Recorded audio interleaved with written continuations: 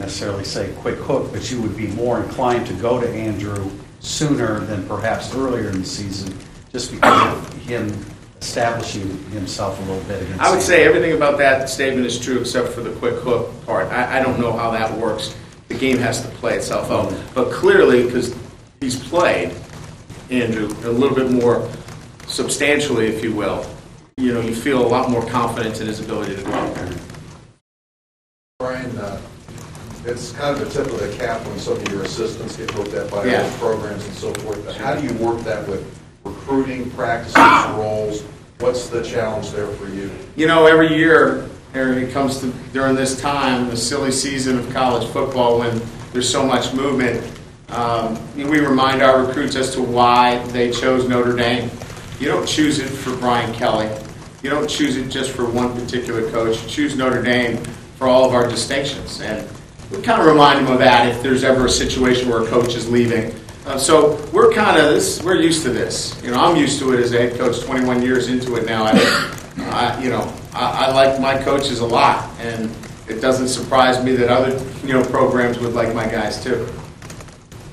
Can you tell us about Charlie's reportedly talked to Massachusetts? I've seen the reports. Nothing is official on our end. Charlie has not notified me of, of, of anything. Once he does, we'll certainly make it public. But, um, you know, that's, that's on, um, you know, Coach Molnar and, and uh, I believe it's UMass. With regard to Riddick, I know you're only worried about winning one game, but as you look forward, is there the possibility that Riddick remains a running back? I think there's a possibility, you know, he, I mean, I don't want to go back to why we did it, because I believe it was the right decision based upon Jonas's Jo- Jonas Gray and our program, and we want to get our playmakers on the field. But now that Jonas is out of the mix, and through injury and then graduation, obviously, you know, now there's some room at the top for a guy like Theo Riddick to be at the running back position. So I don't know that I've put my hand down and said, no, we're never going to move him again. But he, he looks comfortable at running back right now. And how might that impact George Atkinson? Or would it?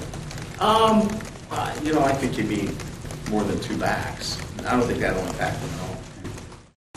Brian, just following up on Tim's question, how did Theo react to the move back to running back? I mean, is he excited about it? Yeah, he's been he's been energized and you know he just wants to play. You know, he's a football player. And and Theo, the thing that he said to me today is, Coach, can I spend some more time with you? Uh, you know, going over film for the running back assignments.